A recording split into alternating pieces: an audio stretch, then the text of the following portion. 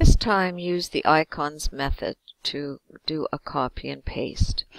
And all the answers are in order. So it's just a matter of selecting the word, double click works, and click the icon in the home ribbon that look like the scissors, the cut icon, and then position the cursor at the end of the first sentence.